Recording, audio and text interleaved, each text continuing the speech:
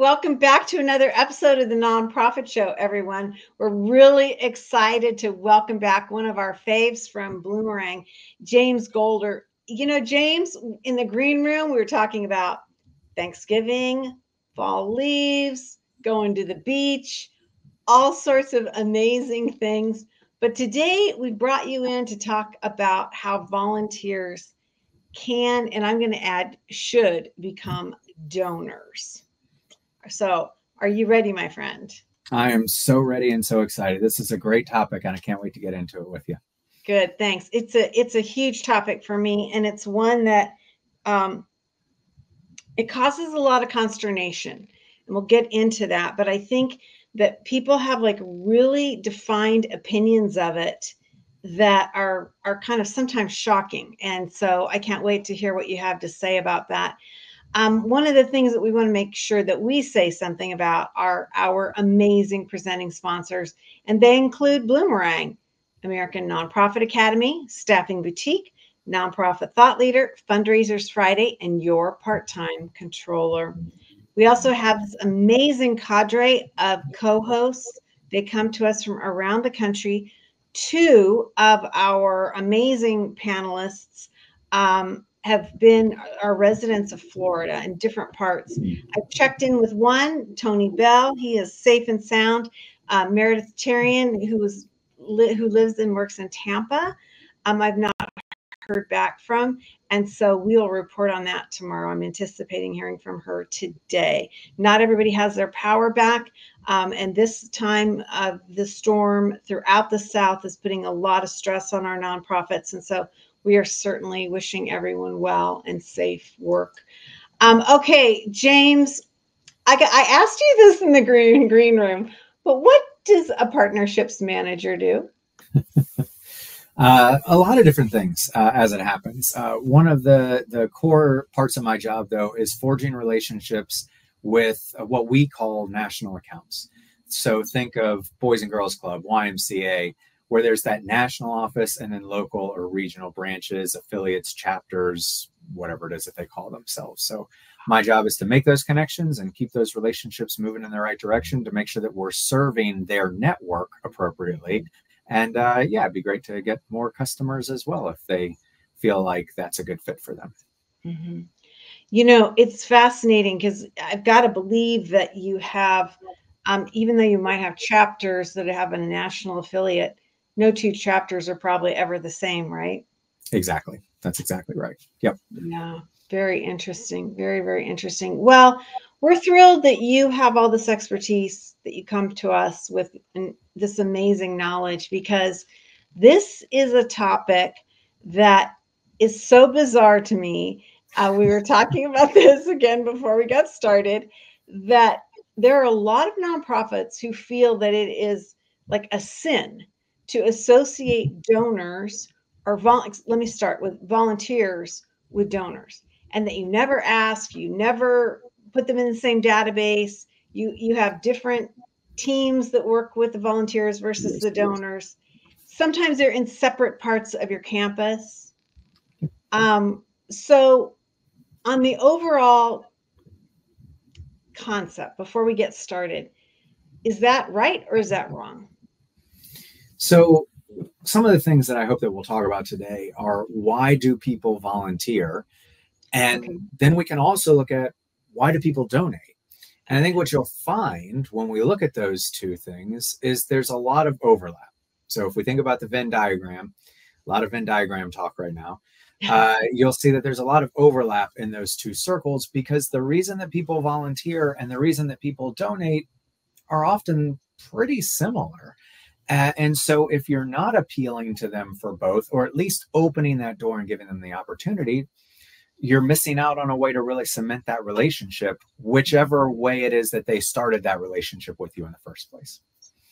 Okay. I love that you kind of put this under that umbrella because the thing that I want to start off with then is a, this frightening stat that we're not really talking enough about, but that volunteer and donor numbers are down. Giving USA has been reporting on this.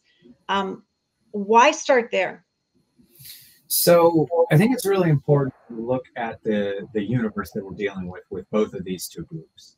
Uh, it shouldn't be super surprising that these numbers are down. I think what has surprised and, and shocked us, uh, me specifically, is how far they're down. Uh, so if we, I know no one wants to do this, but think back with me for just a second. Over the last couple of years, we had the pandemic.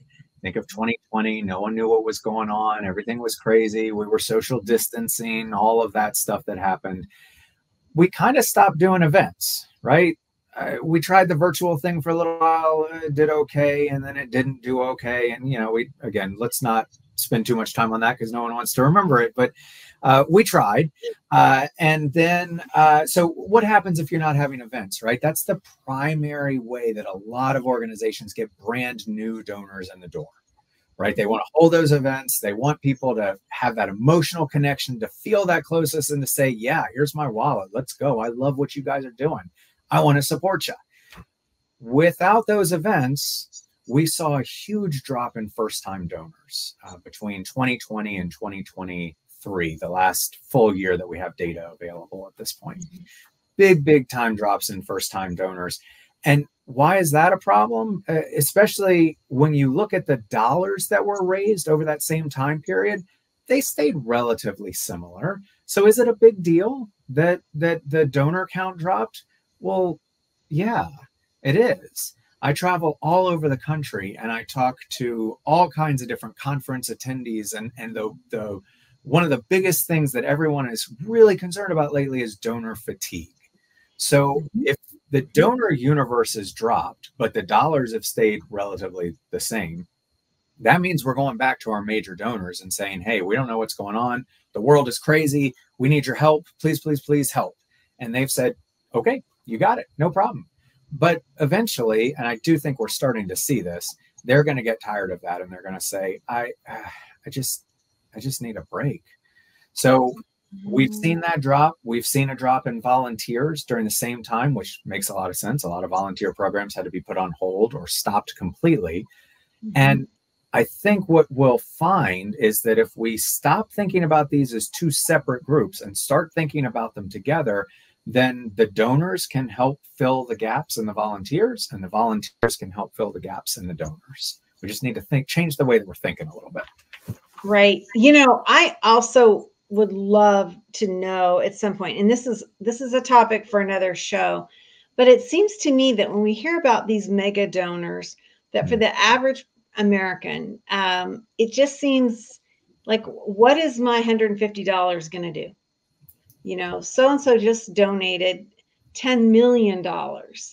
And right. I don't know how I how my what it's a lot of money to me, but in the grand scheme of things, I'm not one of those people that's going to really be um, having a lot of impact or moving the needle. And so I'm curious at some point to see who studies that to really come down that path, especially when we look at this in relationship to volunteer be, volunteering because I think you can still feel like you've moved the needle volunteering. Um, maybe that $150 is like, what is what is that? What am I doing? That that means nothing. But going out on a Saturday or doing something, um, I think there's a little bit more of a sense of value to that. And uh, so I agree with you. There is a lot of donor fatigue for a lot of different reasons. And then I also think too, when we have a general election, that skews things a little bit. I know I read research all the time that says no, it doesn't really, but um, I don't know. I think, I think it, people I, get nervous, um, and I I think to your earlier point uh, or earlier question, I think that we need to do a better job of storytelling, and I, am sure we'll get into that a lot more as we go. But yeah. the impact that a hundred and fifty dollar gift can make is enormous it's absolutely enormous. Just like the impact that anyone who takes time out of their day, out of their week to go out and volunteer somewhere, that impact can be enormous. Are we communicating that impact to our donors, to our volunteers, to our entire community, or are we not? Because if we're not, um, we're missing some really big opportunities there. Okay, yeah, I think that's great, and and we are going to uh, spend some time on that. And I'm really I'm interested in learning more about what you think about that. You know, when we think about, we started this conversation about volunteers and donors being two separate groups. A lot of nonprofits structure their organizations and they think this way. So if we have that framework, this is a heavy lift to move an organization forward into a new a new place, isn't it? Right, it is. Um, so I, I think we need to keep in mind that if we're going to start thinking about these two groups as as maybe in the same pool, it doesn't mean that we have to change our entire infrastructure around volunteers, for instance. Let's just go with that as an example. So I don't think we need to not have volunteer coordinators and people whose mm-hmm. job it is to arrange those schedules and make sure everybody checks in and all of the amazing things that volunteer coordinators do. It's more a focus of communication, I think. Are we communicating to them as separate groups? And if we are, can we, at the very least, uh, have have some combined communication? because the stories that we want to tell these people are really pretty similar. So, from an efficiency standpoint, it makes a lot of sense from a practical standpoint, but also from what we want out of these relationships with people. So, we want to make sure that they're in a fulfilling, engaged relationship with us. And a big part of that is explaining to them what their impact is. Mm-hmm. So, if you look at a lot of the studies that are done around volunteers, they they leave and decide not to come back and volunteer for a whole variety of reasons, right? There, there are many, many different reasons. But one of the main reasons is they feel like they're not valued appropriately. Right. So if you look at the IRS, right, the IRS says it's around a volunteer hour is worth around $30 or something like that mm-hmm. uh, for one volunteer hour. There are a lot of volunteers that are going to look at that and they're going to say, well, wait a minute, I, my time's worth more than that.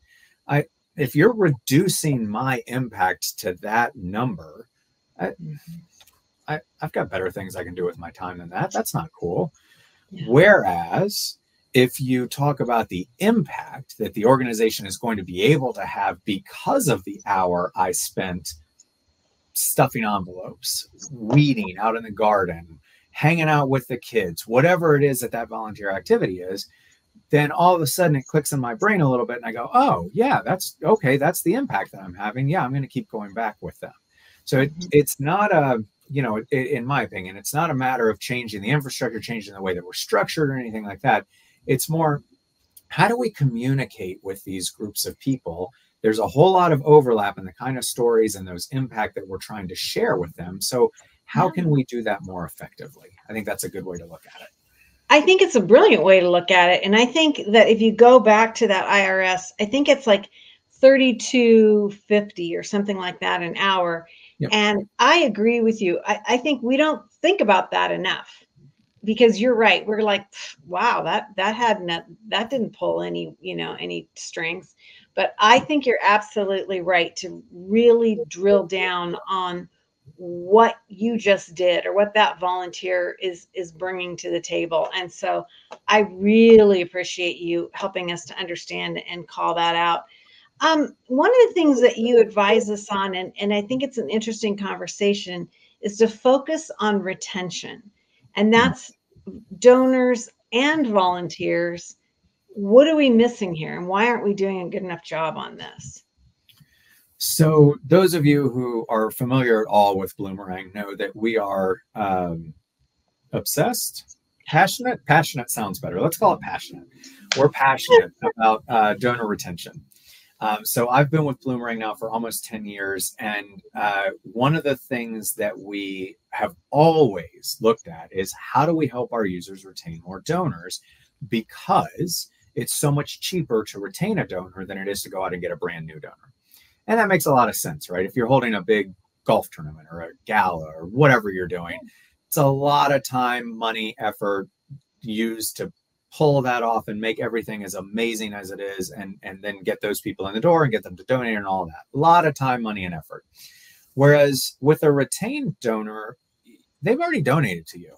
you know that they already like you, that they love your mission, that they want to impact their community through the work that you are doing. And they see that your organization is one of the best ways that they're able to accomplish that. So it, it's not a lot of convincing with them. Uh, but having said that, if you look at the studies that Adrian Sargeant has done and, and other studies over the years about why donors stop donating, most of the time it can be boiled down to poor service or communication. Yep. So, in other words, they just gave you something. Maybe it was $150, maybe it was $5,000, who knows, what, what, whatever it was. They gave you some of their hard earned money and they want to know what happened after that. What are you going to do with it? How am I impacting my world through your work? So if you're not communicating with them, if you're not updating them with newsletters, if you're not reaching out and calling them, if you're not uh, communicating with them in any of the myriad of ways that you can communicate with donors these days, they're not going to hear about your impact from someone else. Yeah. No one else is going to pick up the phone and say, "Hey, Julia, check out what the local, you know, YMCA just did. This is so cool." That those phone calls aren't happening. So you've got to do it you got to pick up the phone, reach out on email, schedule a lunch meeting, whatever it is that, that will work best. Get in front of those donors and let them know, hey, we got your gift. So thankful, so appreciative. Because of that gift, here are the programs that were impacted. This is going to allow us to serve this many more kids, or you know, however all of that works. Those are the stories you have to share. So let me ask you this. If we if we're not doing this as a sector, and I think we can all agree it's not happening enough. Yep. Why is that? Do we not know what our impact is? Um, are we? Do we not have communication tools? Or are we not? Are we yep. shy? I mean, what is it? Why is there this break? So I think there's a couple of different things, right? Uh, I think, yeah, there is a little shyness there. I, it's it's hard for me as not as a um, as, as an employee to brag about the things that I've accomplished. And I've done some good things over the years, but it's hard for me to, to give a list to a new boss when they come in and say, here are the things that I accomplished last year. And so I think there's some of that that people have to deal with a little bit uh, as they're thinking through these plans. What I would counter that with is if you look at all of the surveys that have been done to ask donors why they keep donating, the number one response almost always is they perceive the organization to be effective. How do they know that you're effective? Right, right. Only way they're going to know is if you tell them. Tell them. That's the only way they're going to know. They right. they might happen across a random press release or something like that, and that's amazing and wonderful. And please don't stop putting those out. Do do all of that that you can, but you have to take control of that that and get out in front of those donors and let them know all the amazing things that you're accomplishing because that's what they want to hear and then i think you were kind of getting at this also julia the other big piece is we do talk with a lot of organizations that have data data siloed so they're using some combination of like PayPal over here for online donations. Excel spreadsheet is their donor database, and then maybe Constant Contact or MailChimp or something to send newsletters out. And when you have that kind of situation, it can be hard to get data from over here over to here. And oh wait, did I forget to put that in this in the MailChimp system? I don't know if I did or not. And it's it's just a lot to keep track of and a lot to, to use. So uh, the the think through what that process looks like. If you get a brand new donor, what happens? If you get a volunteer, what happens? How are you communicating with them? What do you have to do to connect those dots and think through how hard that is? Because that can be a big problem as well. You know, I love that you said that because I don't think we spend enough time on, we talk about the donor journey, but we very right. rarely talk about the volunteer journey, do yep. we? And I think that should be mapped out like what happens A through Z when someone comes through and, and how, how do we navigate that relationship? Um, so important and something that we just completely we drop the ball on. It's just it's such a shocking thing that we um, we do. Um, we have a, a, really interesting comment that came in, and I'm going to go ahead and read it uh, before we move on to another our last topic. Um, this, this viewer writes in volunteers already know who you are, what you do, and have expressed an interest in helping your organization achieve impact. Why would you not want to ask your volunteers to donate monetarily to your organization? That's like it. Like that's the mindset we need to have, right? A hundred percent. Great comment, and they are a hundred percent correct. These both groups, right? Volunteers, donors, want to impact their community. They want to make a mm-hmm. difference in their world, wherever it is that their world is. And they've said, this organization, that's how I'm going to do it. I'm going to do it through volunteering, giving my time, or giving my money. Uh, and why wouldn't they want to do both if they're able to?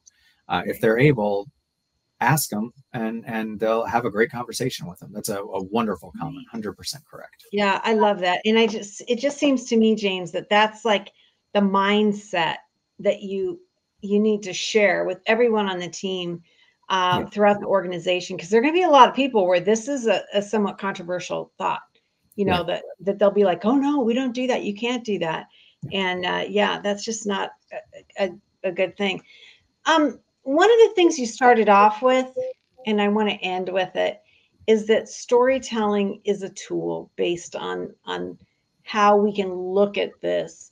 And I'd love to to spend the the last 10 minutes or so that we have with you kind of examining what this could be. It's such an important part of uh, effectively communicating the impact that you're having. So, uh, I th- there are several elements to a, a successful story, right? Uh, you've got character, you've got some sort of uh, you know adverse situation, a challenge, something like that. You've got change over time. Uh, so there, if you think back to a TV show that you love, or one of those books that you're reading, and it's two in the morning and you can't put it down, and you know you got to get up in a few hours, but I have to find out what's going on with these people it's usually because of character, right? Right. So I always like to caveat this whenever I talk about this. Please, please, please think through very carefully and purposefully any sort of privacy concerns or anything like that that you need to be aware of. Please be very careful about that. Right. Having said that, character is what draws people in to a story. So mm-hmm. the example I always use is uh, our oldest daughter uh, lives in Chicago, takes the uh, L train to work every day. It's like 40 minutes each way or whatever it is. So Larissa reads a lot. And normally when I say, oh, my child reads a lot, they're like, oh, you know, 50 books a year. No, last year she read like 160 or something. Yeah. She reads a lot. I read a lot. I don't read that many, but I, I read a lot. And mm-hmm. she and I share book recommendations back and forth. So maybe once a quarter, uh, one of us will send a text to the other and say, "Hey, you should check this out. It's really good." And it got me thinking because we read a lot of books between the two of us, like a lot, but we only share maybe 10 a year, maybe. And mm-hmm. why why don't we share more? So there's a lot that we mm-hmm. read and we probably enjoyed and said, yeah, that was, that was good, but that we didn't feel like the other one really should read that. And I do think that it comes down to character. When you are emotionally invested in that story, you have to find out what happens next. Uh, you're just completely gripped and can't put it down. Yes, there's usually some sort of adverse situation, a challenge the characters are facing. There's a change over time, there's a goal. All of that is happening, but it's characters. It's those characters mm-hmm. that really pull you in. So, as you all are thinking through, how do we communicate the impact that we're having to our donors and to our volunteers and then just to our community at large right think about including those characters that's going to really resonate with people if you're serving a young person who uh, you know is food insecure let's say but because of the work that you're doing they are getting fed at school and then there's an after school program that they're going to go to and because of that lessening of the food insecurity they're able to study more effectively. They get better grades in school. They are able to go to clubs and interact better with their peers. All of the amazing things that happen with that. Tell yeah. that sort of a story because your donors and your volunteers love to hear that. That's why they're with you. That's why they're supporting you monetarily and or with their time.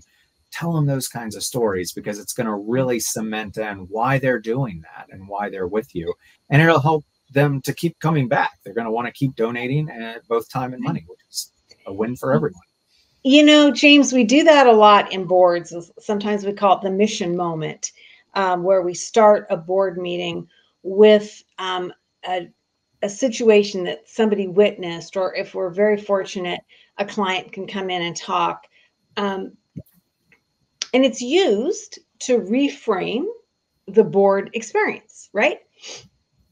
To get board volunteers to say, I'm going to give it my all, I'm going to work hard, I'm going to be present because this is why, this is how important this work is.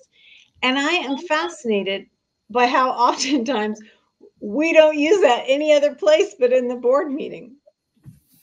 Yep. You know, it's like, ah, it's such a great tool and it's meaningful. If, if you think about an event, right? Let's say you have an auction, gala, some combination. What what happens a lot of times at those events? We have, you know, maybe the ED stands up and talks through some impact numbers, you know, how many people we reached last year and so on and so forth, all of those things. Please keep doing that. That that's great. That's really helpful. Um, and sometimes not all the time, but sometimes we have a testimonial, we have a service recipient, we have someone stand up and give that brief, hopefully heartfelt communication with the audience. Where if you're sitting in the audience, you go, uh, oh, oh, this just became really real for me. Yeah. All of a sudden, it moved from those numbers, which are really important. I don't want to downplay those, but moved from the abstract to, oh, really concrete because now I'm hearing from this person specifically how their life was changed or how their kids' lives were changed or whatever that story is. That's enormously impactful.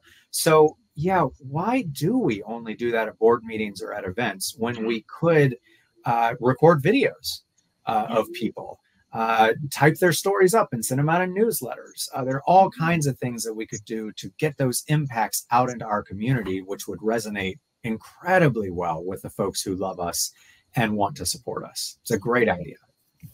Well, and I think, James, to your point, um, and I know Bloomerang talks about this a lot, but you do, you don't just do something once.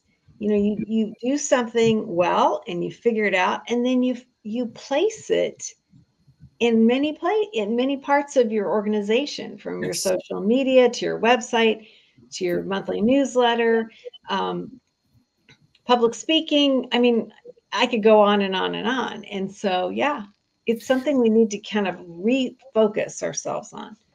When you find those stories that resonate with people, figure out how to get them in front of people as many different ways as you can yeah. across different channels, different formats. When you find that story, and, and one of my favorites is I, I went with our youngest uh, child to uh, on a field trip one time. Right, we went to a farm, uh, and Sunny dug in the dirt and and planted uh, I think beet seeds, if I remember right. Uh, and and I'd never had beets before, uh, not something I had growing up. but we she she planted the beet seeds, and then she went back and she weeded around, you know, and then went back a couple weeks after that and and weeded some more and watered and watched the progression, right? And these beet mm-hmm. plants would grow until finally it was time to harvest them. And then she harvested them and she brought them back to our house and we had beets. And I had to look online to figure out how you make beets because I uh, it wasn't something I had. Uh, but I figured it out and we made beets and now we eat beets right fairly right. regularly. Well, that's a really cool story about an mm-hmm. entire family and a small child that kind of mm-hmm. grew to really like vegetables and eat better and more healthy. And think about what you can do with that kind of story. When you find that story in your uh, impact, uh, in the areas that you're impacting in your community, go with it. Figure out how to get that story in front of people because it's inspirational and people are going to want to join up and help you. I love it, James. Well, you are a great story yourself. Um, being with Bloomerang uh, for a decade. And uh, I always value your time on the nonprofit show. I think you you make things uh, very achievable, logical and achievable, which are, is is hard. because sometimes it'll be like, well, yeah, that's a great idea, but who can do it? You know what I mean? But Right. you always bring uh, to the nonprofit show and to our viewers and listeners really strong, actionable items. And so this is amazing and, and I really appreciate it. Um, you know, you can connect with James on LinkedIn. You can learn more about he and his team and the work that uh, Bloomerang does at bloomerang.com. One of the amazing things about this organization is they do a lot of research. They bring in a lot of thought leaders, and there's no charge for access to this information. Um, do they want you to be one of their clients? You bet. But you can get amazing information and training. I'm just going to call it out for training, uh, James, through bloomerang.com. So definitely check them out. They have been an, an amazing partner of ours since the get go. And uh, James, what a great, great conversation. Thank you for being with us today. Thank you for having me. Always enjoy it. Yeah, it's been a lot of fun. Hey, another thing that we want to make sure is that we want to extend our gratitude to all of our partners. And James comes to us from Bloomerang, American Nonprofit Academy, Staffing Boutique, Nonprofit Thought Leader, Fundraisers Friday, our new episode on Fridays, just dedicated to fundraisers and all the things that they have to deal with, and your part time controller. Um, James, you probably remember this, but as we end each and every episode, we end with this mantra, this wisdom, this wish, and it goes like this to stay well so you can do well. See you back here tomorrow, everyone.